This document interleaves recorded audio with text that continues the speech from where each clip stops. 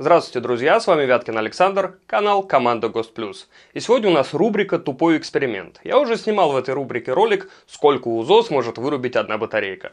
Но тогда мне просто нечего было делать в локдауне. Сегодня же мы будем ставить опыты над устройствами защиты от дугового пробоя. И вдохновил меня на этот эксперимент рассказ моего коллеги из Ярославля Александра Филатова. Давайте послушаем самого Александра, ну и приступим. Ребята, всем привет! В двух словах. Поставили мы как-то на объекте ЕАТОН. Три штуки на каждую фазу. И, соответственно, в нашем же щитовом оборудовании уже стояли УЗМы. Данные ЕАТОНы попросил поставить нас заказчик. Начитался, говорит, от любой искры будет отключаться. Я говорю, ну давайте поставим, ваши же деньги, не наши. 36 тысяч рублей мы повесили на стену, плюс еще щит, работа, ну и того там полтинник, короче. Вот. Начали тестировать. Взяли чайник, подключили, пошли на кухню, начали вот туда-сюда, туда-сюда, туда-сюда, в розетку, короче, дергать, искра, туда-сюда, отключилась УЗМ. Понесли, короче, этот чайник ближе к установке Ятону. Длина кабеля составляла от щита 2-3 метра от силы, наверное. Начали ту же самую процедуру туда-сюда, туда-сюда, искра, все искрит, там все щелкает, там взрывается в, в, подро, в этом в подрозетнике. Отключилась УЗМ-ка. Вот висит полтинник сейчас на стене. И заказчик не знает, что с ним делать. Нанотехнологии не работают, оказывается, а УЗМ почему-то отработала. Вот и делайте выводы. Согласитесь, не терпится взять и проверить, а работают ли вообще УЗДП каким-нибудь наглядным образом. Что ж, давайте приступим. Только сначала я обязан сделать несколько важных предупреждений. Во-первых, ни в коем случае не повторяйте все увиденное сегодня самостоятельно. Это может быть очень опасно. Во-вторых, оба устройства, которые я буду сегодня испытывать, на настоящий момент уже не производятся, хоть их и можно встретить в продаже.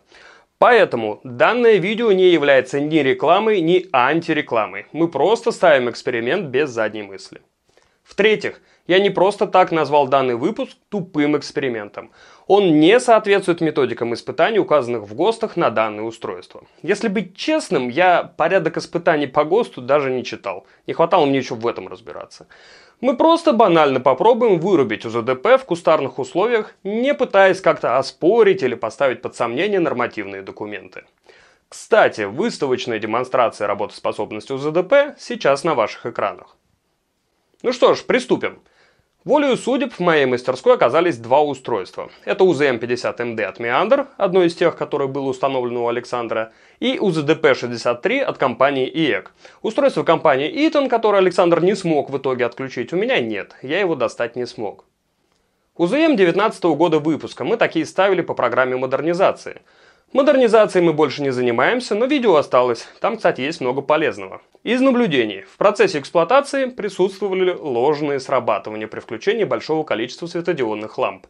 Редко, с периодичностью в пару-тройку месяцев, но бывало.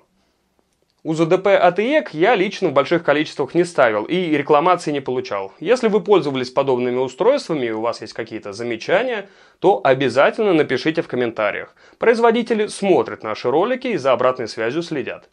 В комплекте с этим устройством идет проверочная вилка. Оба устройства сочетают в себе функцию УЗДП и реле напряжения без настроек. Основная разница в том, что Meander включается автоматически, а ИЭК только вручную.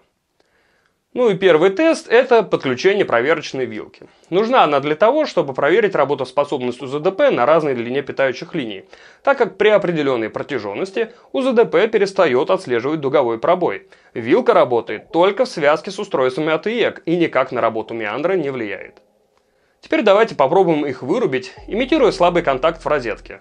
Ну или попытку замерзшего страдающего от похмелья датчика включить с утра обогреватель.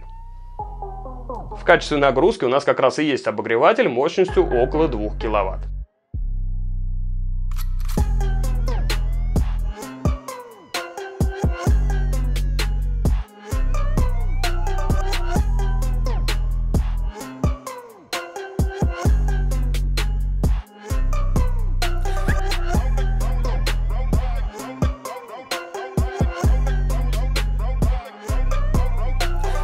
Первой попытки выключить таким образом меандр нам не удалось.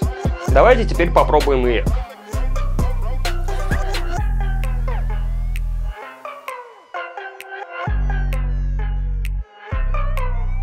Есть срабатывание.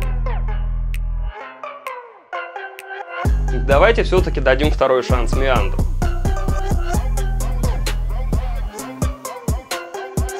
Готово, сработал все-таки. А теперь устроим гонку у ЗДПшной ралли. Барабанная дробь. И перед нами победитель УЗДП АТЕК.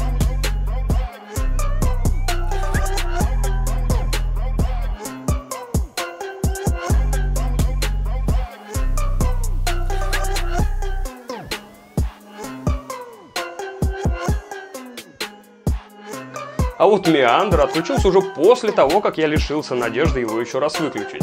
Странно, ну ладно.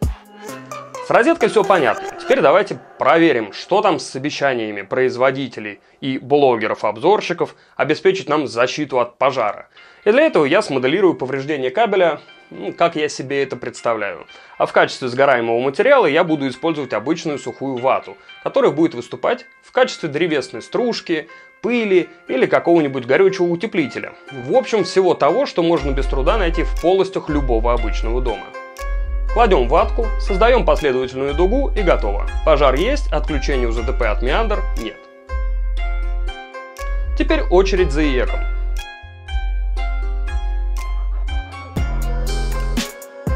Результат тот же. Давайте посмотрим, смогу ли я вообще выключить их таким образом.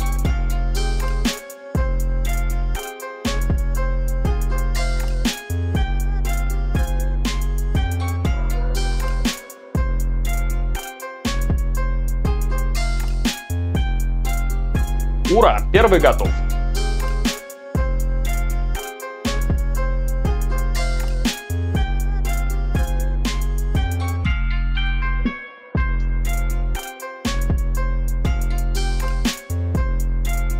Есть. Второй тоже. Теперь для чистоты эксперимента мы установим устройство по отдельности, чтобы исключить какое-либо их воздействие друг на друга. Смотрим. Меандр. Теперь ИЭК. Результат такой же. Ну что ж, давайте делать выводы. А выводы, несмотря на всю тупость нашего эксперимента, вполне серьезные. И нет, вывод не в том, что УЗДП это не работающее фуфло для вытягивания из нас денег, как наверняка подумали многие из вас. Я более чем уверен, зная принципы работы основных типов защитных устройств, что именно так это все и должно выглядеть.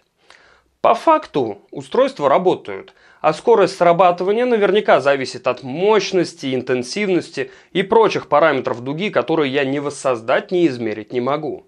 Главный вывод – УЗДП – это никакая не панацея от пожара, как и все любые другие защитные устройства. Да, конкретно УЗДП повышает безопасность электропроводки, так как те неисправности, которые я сегодня моделировал, никакие другие аппараты типа УЗО и автоматов распознать не могут физически. И так же, как с УЗО и автоматами, мы имеем четкую последовательность. Сначала происходит авария, и только потом реагирует защита. И чтобы не произошло беды в промежутке между происшествием и отключением, и существуют все эти требования по монтажу электропроводки, типа стальных труб в деревянных домах и тому подобного. И так же, как с УЗО и автоматами, мы можем не получить срабатывание защиты вовсе, из-за недостаточных, так скажем, параметров неисправности. Так, например, если ток короткого замыкания будет ниже уставки автомата, то автомат на это замыкание не среагирует. Или если человек попадет под напряжение и ток, проходящий через его тело, не достигнет ток отсечки УЗО, то человек может пострадать, несмотря на наличие УЗО в цепи питания.